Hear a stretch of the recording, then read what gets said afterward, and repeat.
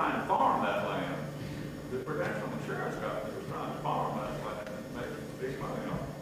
Well, evidently they folded up, so they gave 250,000 acres to the U.S. Fish and Wildlife Service. I mean, you know, they got what they're talking about.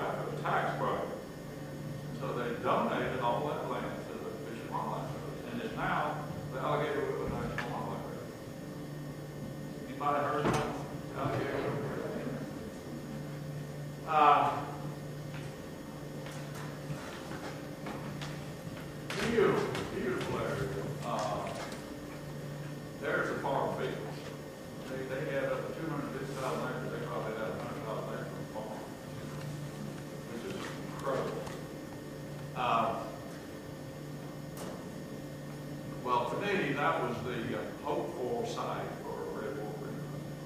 We barely had enough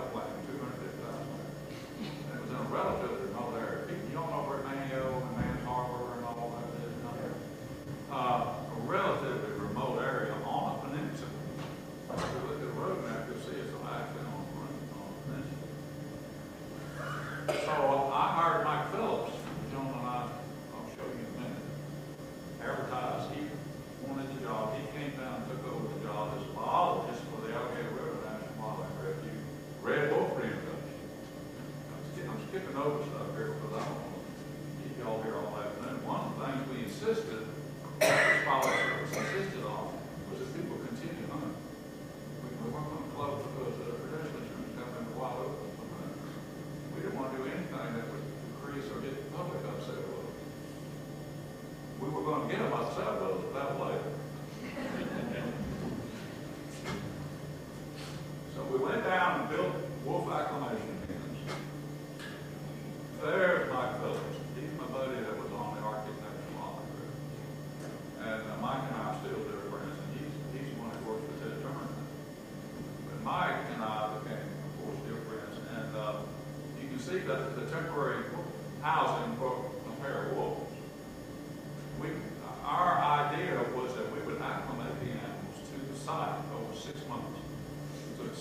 for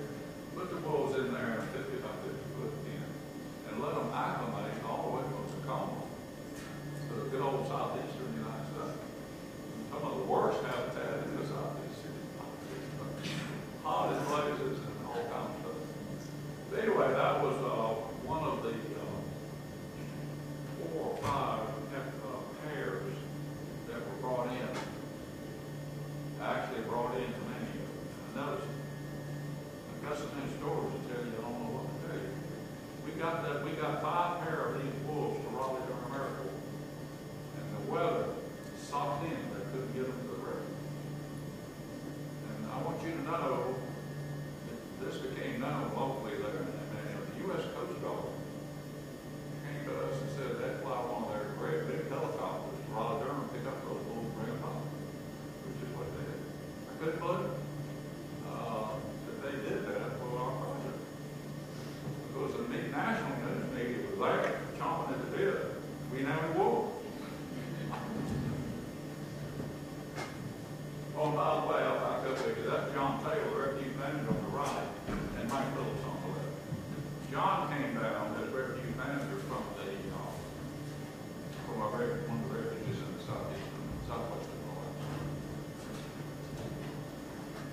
try to hurry on, folks. I, I.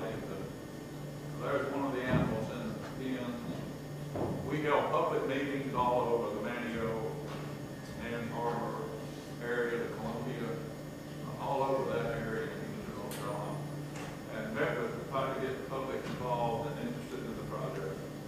And we got the, we got the 3M Corporation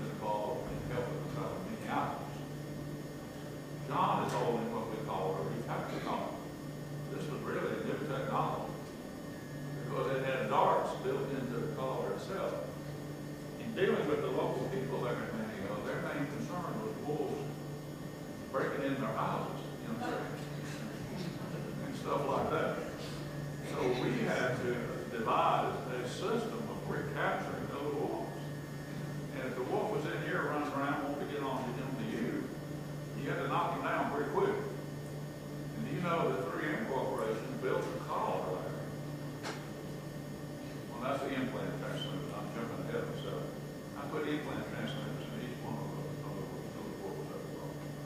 that, they had a range of about four miles from airplane.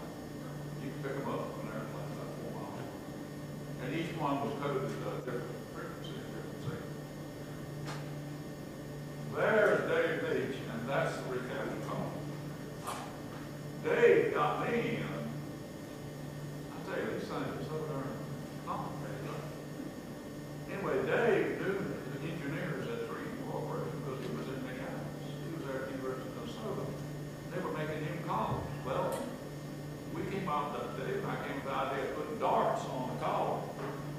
Darts That could be activated by radio signals.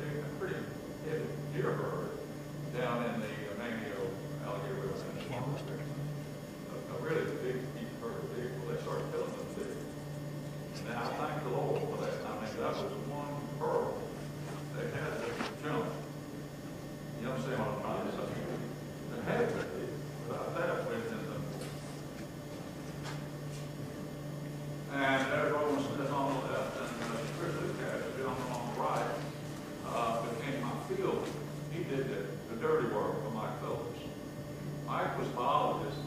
He was a technician. He, did, he had to scoop up the poop and stuff. You know? Ah, ah, ah. because we had to check for parasites. You see if these, these released animals are parasites. But anyway, Chris is now parasites.